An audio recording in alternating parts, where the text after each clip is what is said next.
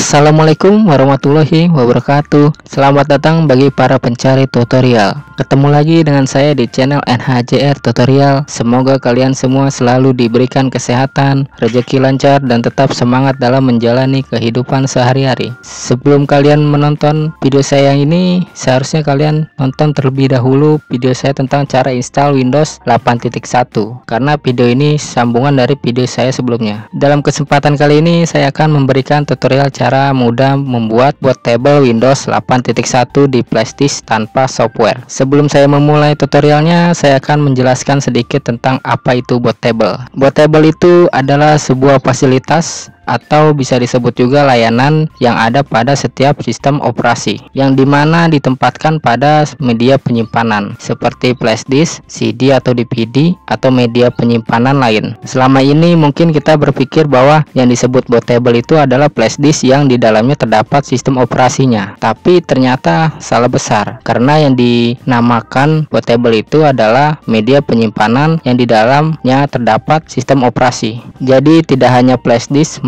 semua media penyimpanan juga bisa disebut sebagai bootable asalkan di dalamnya terdapat sistem operasi seperti CD atau DVD dan lain-lain. Setelah nanti kamu selesai membuat bootable Windows 8.1 di flash disk tanpa software, kamu bisa nonton video saya selanjutnya tutorial cara install ulang Windows 8.1.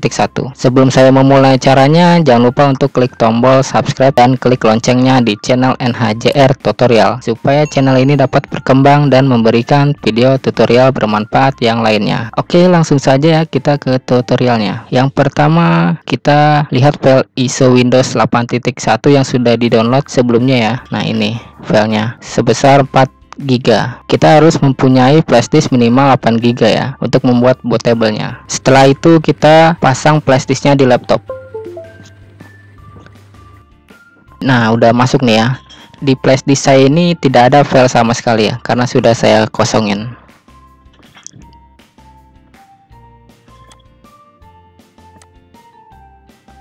Ini ya flash disk saya setelah itu kita format flash disknya terlebih dahulu. Dengan cara klik kanan pilih format. Kemudian kita pilih file sistem. Nah, di sini pastikan kalian memilih NTFS ya. Kemudian untuk allocation unit size-nya 4096 bit. Di volume label ini boleh dikasih nama atau tidak dikasih nama juga tidak apa-apa. Di sini saya akan mengisi nama Windows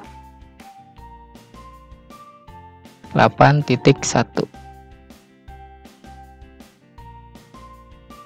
Kemudian kita klik start. Oke. Okay. Oke okay lagi format complete. Klik OK aja. Kita close ya.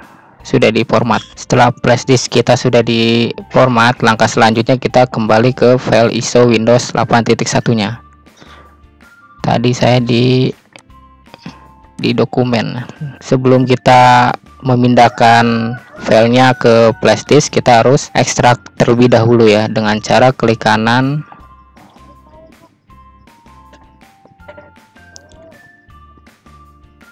pilih ekstrakir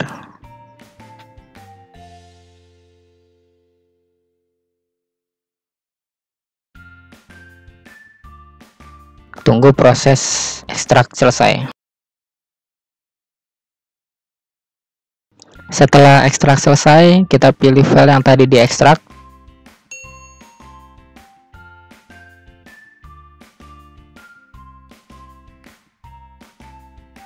kita blok semua file yang tadi diekstrak kemudian kita copy.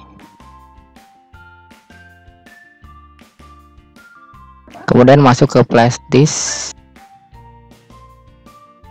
Kita pastekan di sini.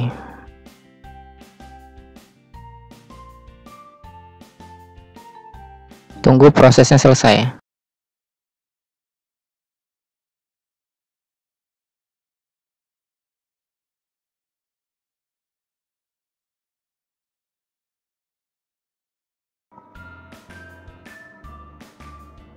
setelah selesai ikonnya masih gambar flash disk ya. Supaya jadi bootable kita harus reject flash disknya terlebih dahulu. Dengan cara klik kanan reject.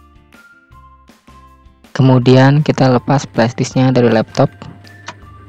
Flashdisknya kita pasang kembali ke laptop. Nah sudah berubah kan ikonnya seperti ini. Nih. Nih ya